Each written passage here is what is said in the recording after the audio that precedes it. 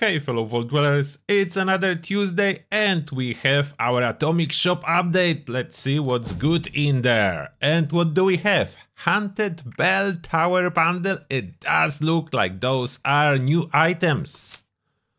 New items includes Haunted Bell Tower, Petrifying Spiked Doll Head, Horrifying Spiked Doll Head, Skull Knocker, Creepy Spike Doll Head, Flaming, Skull Rider Helmet, and Alarming Spike Doll Head.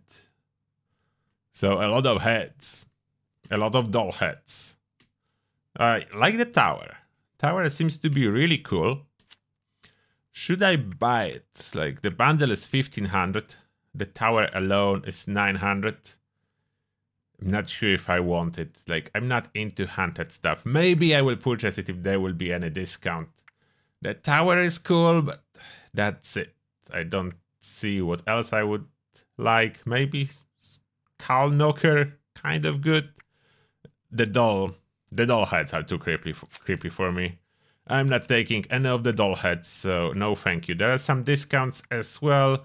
For previous bundles, you have 30% off for Rest in Pieces Cam bundle, 30% off for Rubber Halloween bundle, and 10% off for Inspector Daphne bundle.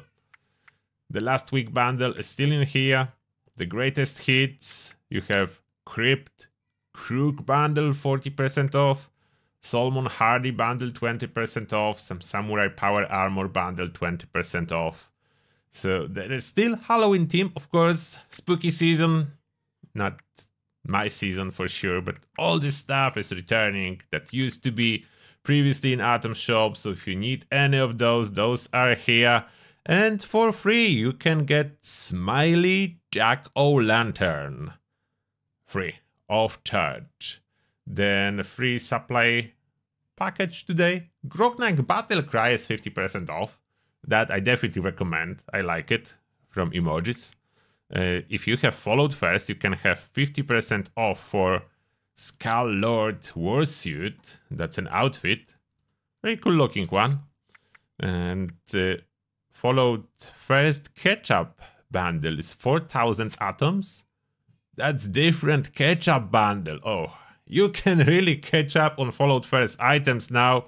Ketchup bundle 1 you have Ranger Armo outfit, Riot Paint, Settler Survival tent, more tents, a lot of stuff. Ranger outfits, a lot of stuff that used to be Fallout 1st in previous months since the Fallout 1st was released.